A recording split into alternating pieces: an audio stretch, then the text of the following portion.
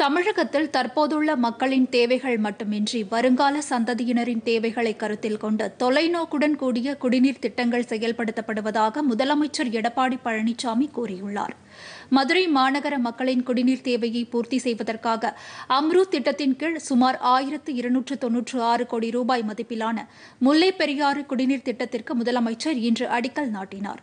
மதுரை மாவட்ட ஆட்சியர் அலுவலக வளாகத்தில் நடைபெற்ற இந்த நிகழ்ச்சியில் பேசிய அவர் தமிழகம் முழுவதும் இதுவரை எழுபத்து ஆறு கூட்டு குடிநீர் திட்டங்கள் செயல்படுத்தப்பட்டு வருவதாக கூறினார். குடிமராமத்து திட்டத்தின் மூலம் மழைநீர் வீணாகாமல் சேமிக்கப்படுவதாகவும் முதலமைச்சர் குறிப்பிட்டார். சொன்னால் இது மிகப்பெரிய திட்டம் வரலாற்று சிறப்புமிக்க திட்டம் நீண்டகால திட்டம்.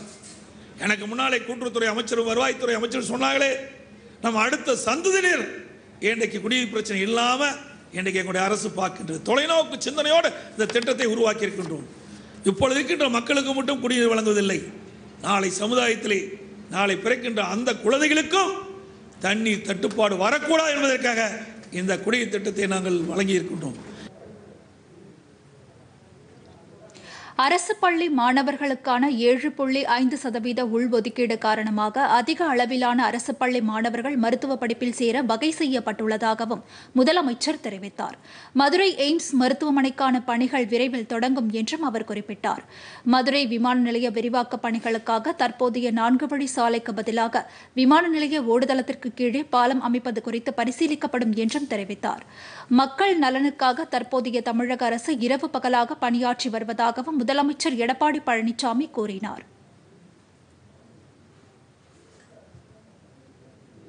இந்த நிகழ்ச்சியில் துணை முதலமைச்சர் ஓ பன்னீர்செல்வம் அமைச்சர்கள் Dindigul Sreenivasan S P Velumani Sellur Raju R B Udhayakumar மற்றும் சட்டமன்ற நாடாளுமன்ற உறுப்பினர்கள் கலந்து கொண்டனர். முன்னதாக முப்பது கோடி ரூபாய் மதிப்பில் கட்டப்பட்டுள்ள மதுரை மாவட்ட ஆட்சியர் அலுவலக புதிய கட்டிடம் உள்ளிட்ட முடிவுற்ற பல்வேறு திட்டங்களையும் முதலமைச்சர் தொடங்கி வைத்தார்.